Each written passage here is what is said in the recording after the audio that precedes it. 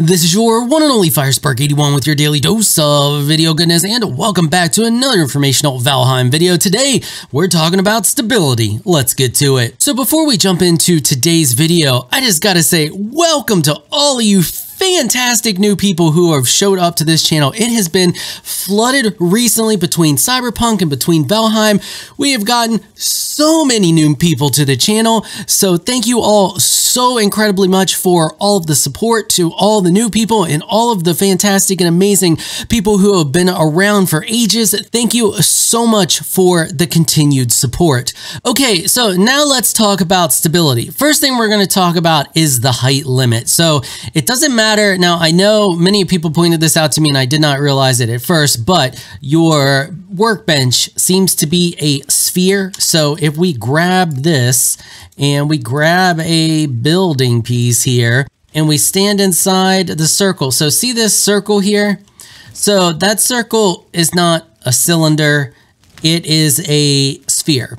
So if we build towards the edge, we're going to build out of that area quicker than if we build towards the center. So if we just slap that down there and then we start to build upwards.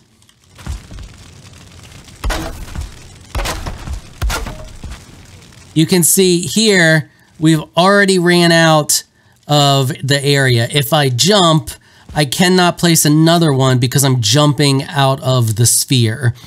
So that's something to keep in mind. But Beyond that, even if I was to slap down another workbench at one of these areas here, so you can see I built all the way up like that, even if I was to, for example, build a flat piece here and build another workbench, I could not build higher. And that is because we have reached our limit. Now, you can tell you have reached the limit by the colors. So if I highlight over this, you can see that it is blue. You can see this is blue.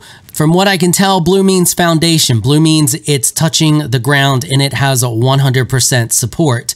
Then as we move away, you can see the color changes and it becomes green and then it it's green again and then it starts to turn a little more yellow and then it turns to yellow and then it turns to orange and then we can demonstrate from here. Then it goes from orange to an orangish red to red and then super red. Now, past this super red here, you cannot continue to build. So if I snap another piece on there and we take a look at it, you'll be able to see it goes to the colors as the game registers the stability and then it falls off.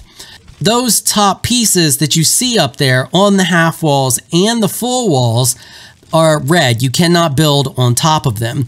The same thing if we take a look at this stone structure here. So the stone walls, the big chunky ones, that's as high as they're going to go. If you try to build on top of that, it says no. It, what's interesting though is I was able to get a little bit higher with the half walls than I was the whole big chunky walls. So if you take a look there, and that is this one right here.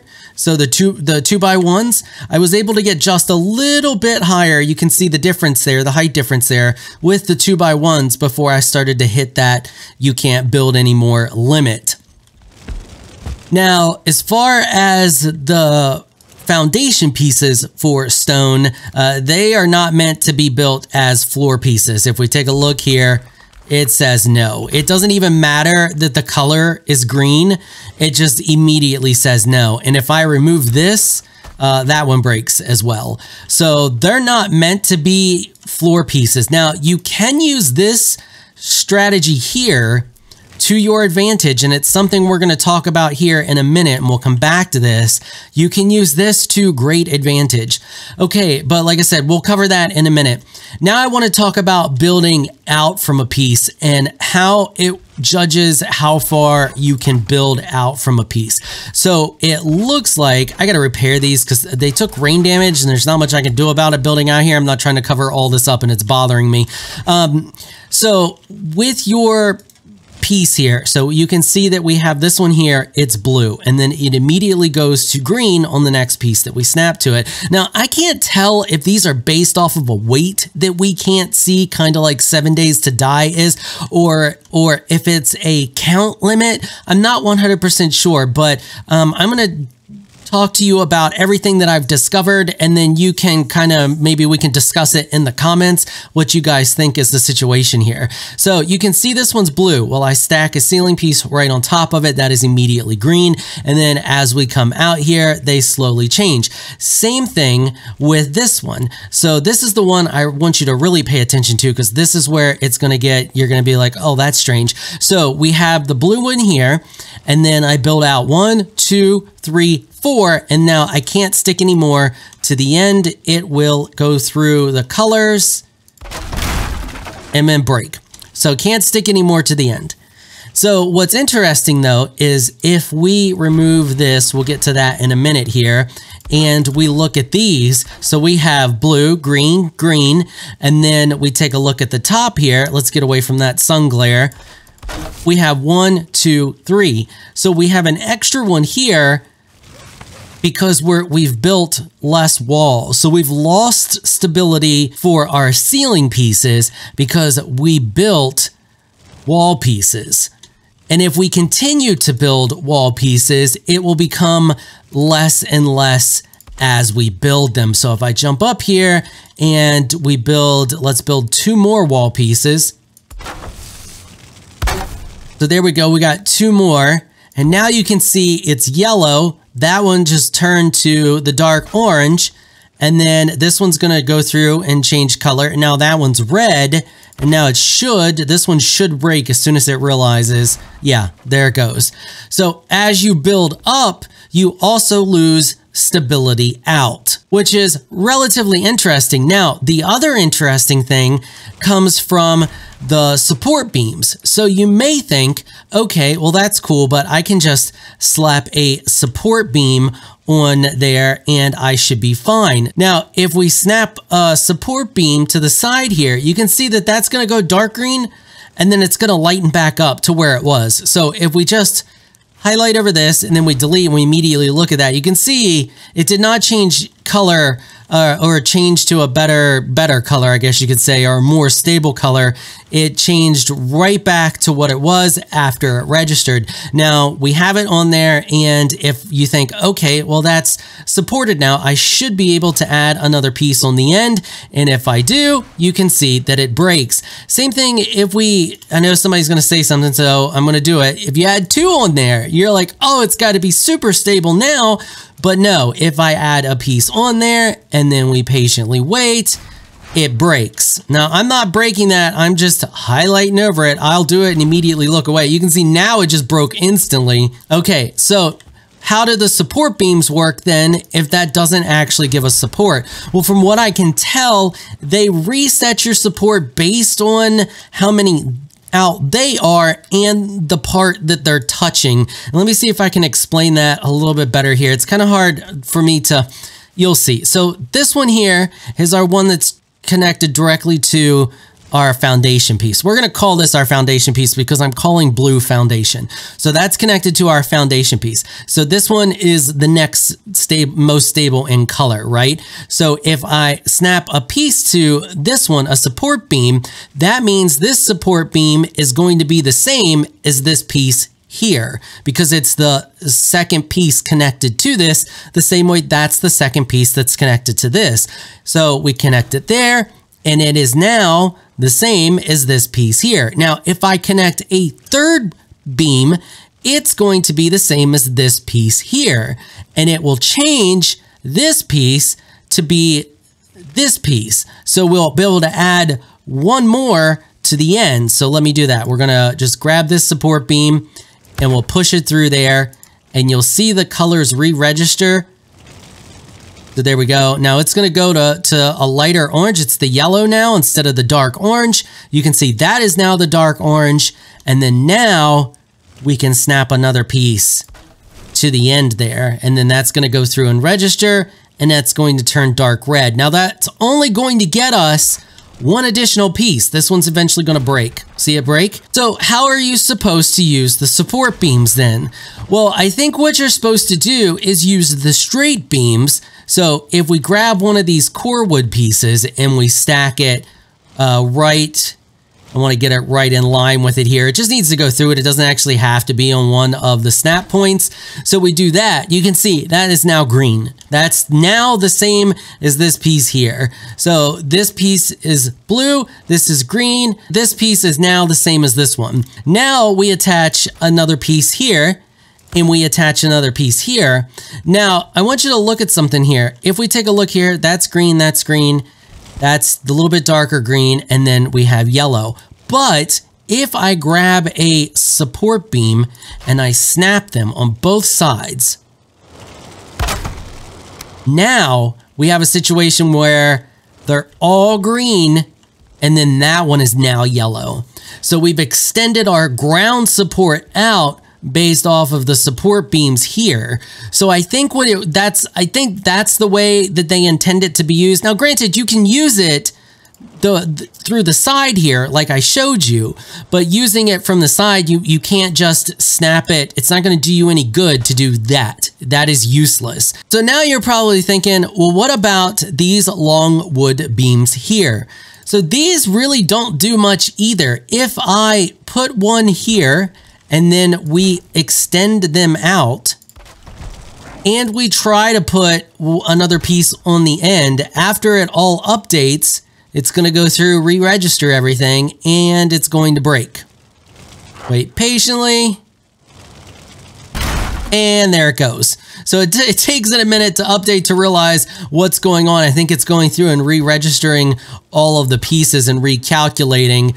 Um, but we have a, an extended time. Even if I stick a piece on the end here, it'll be the same situation. They're actually both going to break as it goes through and registers.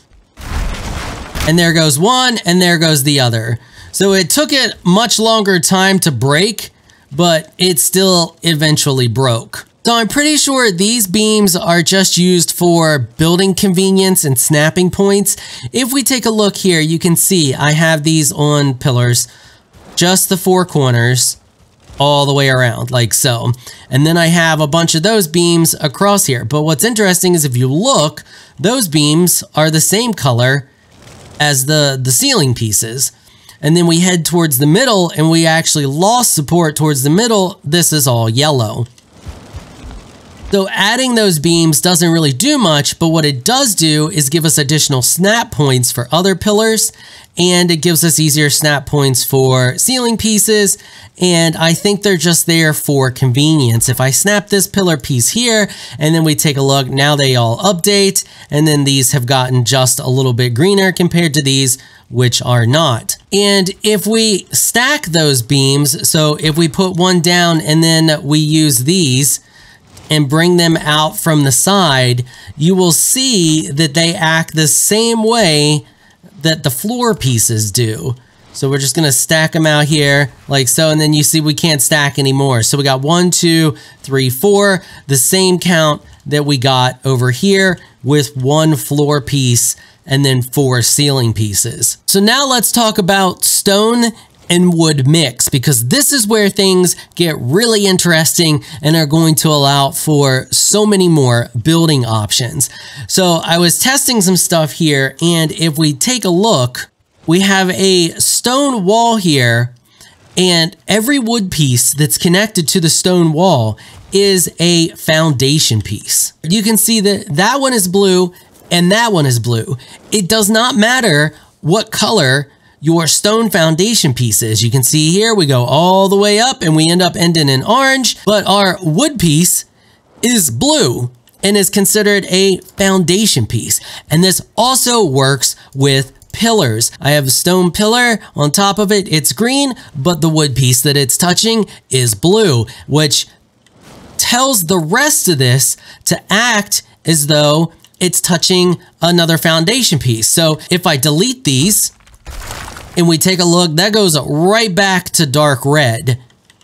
So you can use the stone found or stone pillar pieces or any of the stone pieces combined with your wood pieces to drastically increase the stability of the wood. So that means that since this is blue, we have now reset this piece here to act as a foundation piece wall that will allow us to come out an additional four. So if we attach them here, we can now go one, two, three, and four.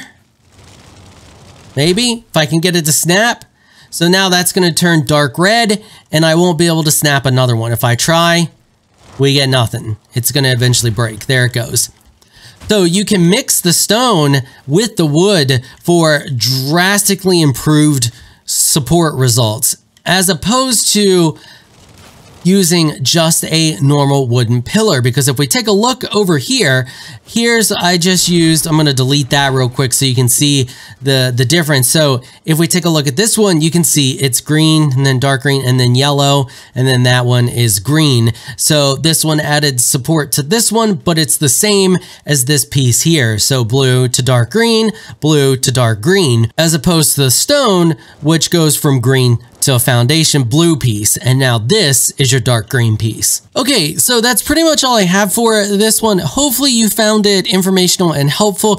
If you did, consider hitting the subscribe button and the notification bell so you can be notified when I upload other Valheim videos. And I don't just cover Valheim, I cover all kinds of different games, so you never know when I'm going to be making guides for a game that you may be playing. All right, that is going to wrap it up for this episode. If you like what you saw, consider hitting that sub button. I want to give a big thank you to my patrons for making this episode possible possible. You are absolutely amazing people. If you'd like to join my Elite Crew Patreon supporters, please check out the link in the description below. If you enjoyed this video, please comment down below. Let me know what you thought. If you're shy, you don't like to comment, just hit that thumbs up button and share your support. Until next time, thanks for watching.